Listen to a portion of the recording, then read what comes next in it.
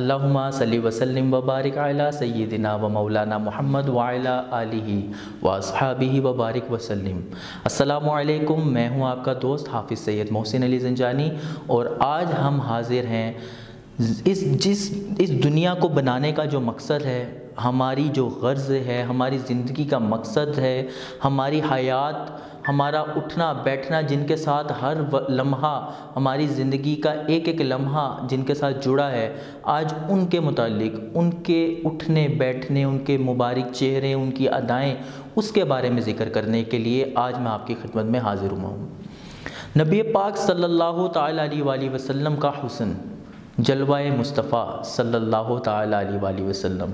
یہ وہ جلوہ ہے جس کے لیے انبیاء نے دعائیں کیں کہ ہمیں نبی پاک صلی اللہ تعالیٰ علیہ وسلم کی امت میں سے بنا۔ یہ وہ نبی ہیں۔ یہ ہماری خوش قسمتی ہے کہ ہم نبی پاک علیہ السلام محمد مصطفیٰ، محمد عربی صلی اللہ تعالیٰ علیہ وآلہ وسلم کی امت میں شامل ہیں۔ اور آج ہمیں ان کا ذکر کرتے رہنے کی توفیق رب تعالیٰ کی عطا اس کے کرم سے ہے۔ اس کائنات کا ذرہ ذرہ نبی پاک صلی اللہ تعالیٰ علیہ وآلہ وسلم کے حسن کی برکت سے ہے، ان کی قدموں کی عطا سے ہے۔ ہر مسلمان، ہر مومن کو یہ پتہ ہونا چاہیے کہ ان کے پیارے حبیب نبی پاک صلی اللہ تعالیٰ علیہ وسلم، جن کا ہم کلمہ پڑھتے ہیں، جن کے وسیلے سے ہم دعائیں کرتے ہیں، اپنی حاجتیں مانگتے ہیں۔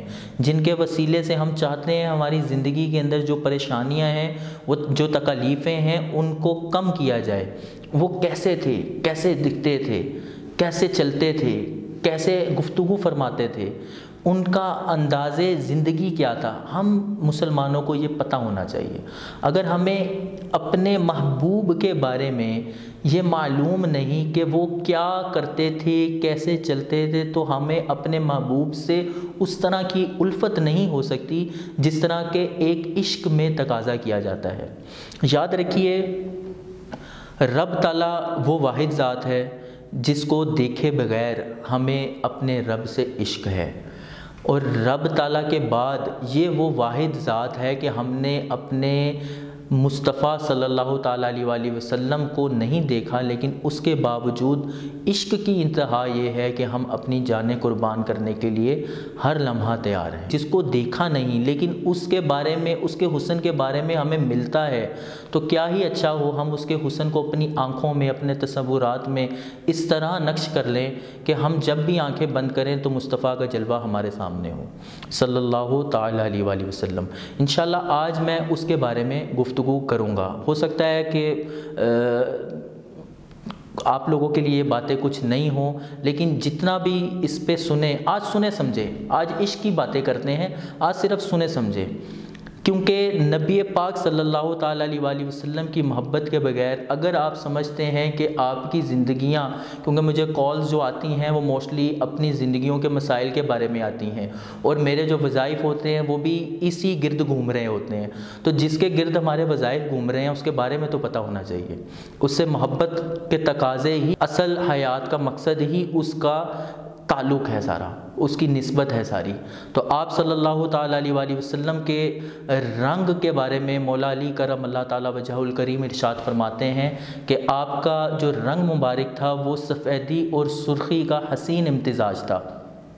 حضرت انس رضی اللہ تعالیٰ عنہ ارشاد فرماتے ہیں کہ میں نے نبی پاک صلی اللہ تعالیٰ علیہ وآلہ وسلم سے حسین رنگت والا کوئی شخص نہیں دیکھا اور آپ صلی اللہ تعالیٰ علیہ وآلہ وسلم سے زیادہ خوشبودار کسی کو نہیں پایا۔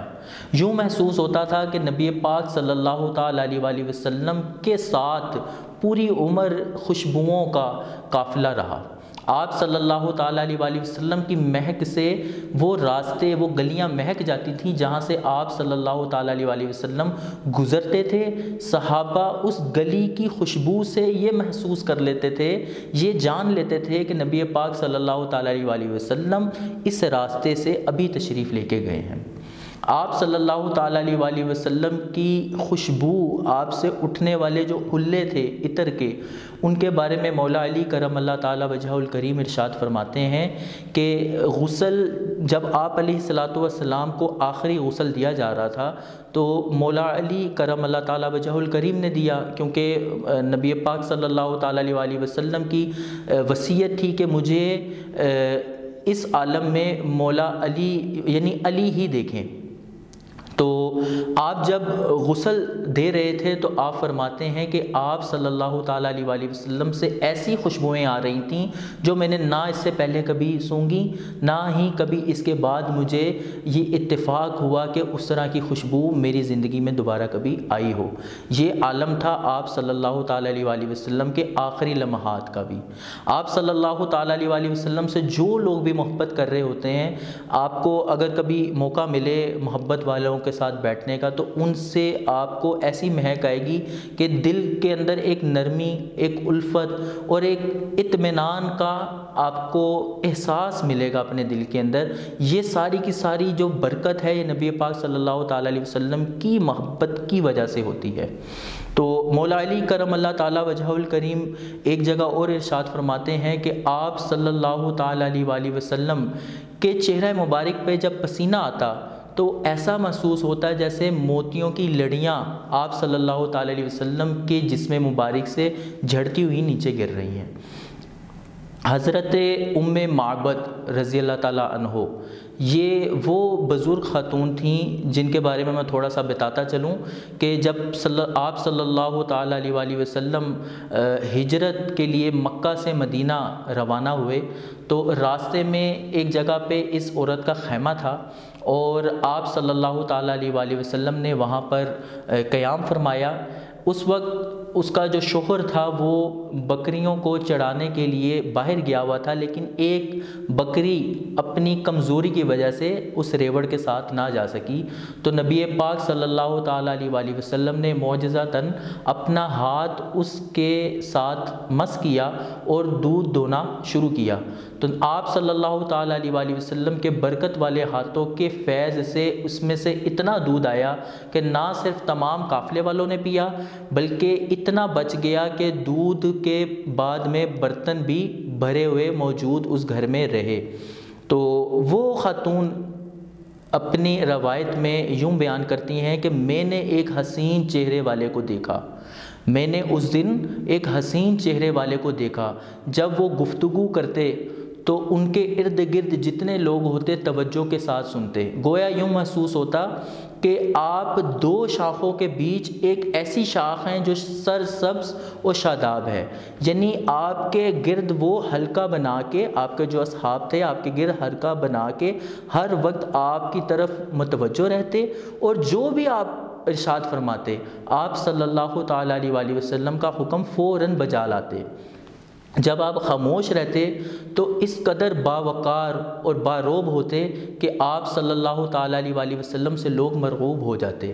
جب آپ صلی اللہ تعالیٰ علیہ وآلہ وسلم گفتگو فرماتے تو آپ کا چہرہ مبارک پر رونق پر رونق ہوتا۔ آپ صلی اللہ تعالیٰ علیہ وآلہ وسلم کی گفتگو موتیوں کی لڑی کی طرح تھی۔ بالکل بے فائدہ نہیں اس قدر حسین، اس قدر فصاحت و بلاغت کے ساتھ الفاظ ایک کے بعد دوسرے ادا کرتے تھے کہ جیسے آپ صلی اللہ تعالیٰ علیہ وآلہ وسلم کسی قرآن کا تو اپنی، اپنا ایک فضیلت ہے، برکت ہے، لیکن لگتا ہے کہ یہ بھی ایک ایسی ایسی لڑی ہے، کیونکہ عربی جاننے والے جانتے ہیں کہ عربی کے اندر گفتگو کرنے کی جو فصاحت و بلاغت کا انداز ہے، وہ بالکل نثر کی طرح ہوتا ہے۔ اس کے اندر اتنا حسین امتزاج ہوتا ہے کہ لگتا ہے جیسے کوئی نظم لکھ دی گئی، چاہے عام گفتگو کیوں نہ کی جائے۔ اسی لیے فصاحت و بلاغت کا چیپٹر علماء کرام کو پڑھایا جاتا ہے کہ ان کی گفتگو کے اندر اس قدر خوبصورتی آ جائے کہ گفتگو سننے والوں کو ان کا اثر ہو، وہ با اثر گفتگو ہو جائے۔ تو آپ صلی اللہ تعالیٰ علیہ وسلم جب بولتے تو ان کی آواز کے اندر قدرتی طور پر ایک گونج ہوتی، ایک ایکو ہوتا۔ آپ کو قریب کھڑا ہوا بھی ایسے ہی سنتا ہے جیسے دور کھڑا ہوا سنتا۔ یعنی دور اور قریب کے سننے والوں کے لیے کوئی پریشانی نہ ہوتی۔ یہی وجہ تھی کہ فتح مکہ کے ٹائم بے شمار اصحاب کے ہونے کے باوجود آپ نے جب خطبہ فرمایا، ارشاد فرمایا، تو تمام افراد نے ایسے ہی سنا جیسے پہلی صف میں کھڑے ہوئے آدمی نے سنا تھا۔ تو آپ صلی اللہ تعالیٰ علیہ وسلم کے حسن کے بارے میں آپ کے پیارے، خوبصورت، حسین نواز حضرت امام حسین وہ فرماتے ہیں کہ میرے نانا جان، ان کا چہرہ چودھویں کے چاند کی طرح روشن تھا۔ آپ صلی اللہ تعالیٰ علیہ وسلم کا قد مبارک، نہ تو متوسط تھا یعنی متوسط قد والوں سے کچھ قدرے بڑا اور طویل قد والوں سے قدرے پست۔ یعنی آنکھوں کو بہاتا تھا۔ یہ نہیں تھا کہ کہنے والا کہے کہ آپ کا قد مبارک چھوٹا ہے۔ یہ بھی نہیں تھا کہ کہنے والا کہے کہ نہیں، یہ تو بہت لمبا ہے۔ اتنی خوبصورتی سے آپ کا قد تھا کہ آنکھوں کو بہا جاتا تھا۔ آپ صلی اللہ تعالیٰ علیہ وسلم کی آنکھیں مبارک، آنکھیں سیاہ، آنکھوں کی جو آنکھیں مبارک، انتہائی سیاہ اور جو سفید حصہ تھا وہ انتہائی سفید اور اس میں سرخ ڈورے محسوس ہوتے تھے۔ قدرتی طور پہ آپ کی آنکھیں سرمگیں اور پلک مبارک دراز۔ آپ صلی اللہ علیہ وسلم کی پلک مبارک دراز تھیں اور جو ابرو مبارک تھے وہ دور سے یوں محسوس ہوتا کہ آپس میں ملے ہوئے ہیں لیکن ملے ہوئے تھے نہیں۔ آپ صلی اللہ تعالیٰ علیہ وسلم کے بارے میں مولا علی کرم اللہ تعالیٰ وجہ الکریم ارشاد فرماتے ہیں کہ یوں محسوس ہوتا جیسے آفتاب آپ کے چہرے میں چمک رہا ہے۔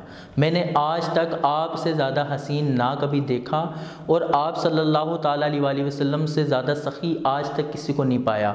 آپ سب سے زیادہ سخی تھے، آپ سب سے زیادہ نرم دل، آپ سب سے با آپ سب سے زیادہ افضل گھرانے میں پیدا ہوئے۔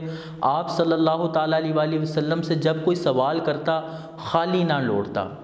ایک بڑی پیاری اس دوران مجھے روایت یاد آ گئی کہ حاتم تائی کا جو بیٹا تھا پوتا تھا، وہ مولا علی، مولا امام حسن کے ساتھ کھیل رہا تھا، بچپن کا دور تھا۔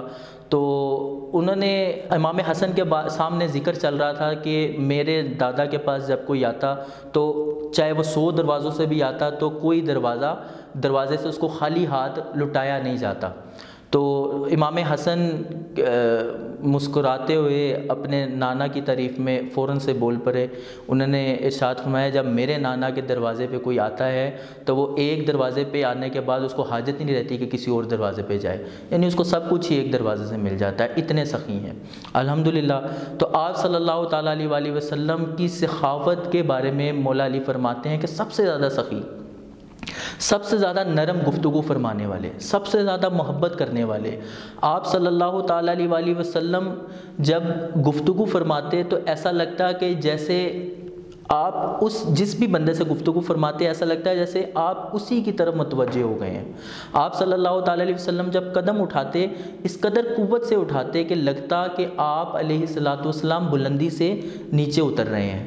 آپ صلی اللہ تعالیٰ علیہ وسلم کی طرف اگر کوئی تحفہ بھیجا جاتا تو آپ صلی اللہ تعالیٰ علیہ وسلم بیٹھے ہوئے جتنے بھی اصحاب ہوتے ان میں بھی اس کا حصہ رکھتے اور ان کو بانٹتے۔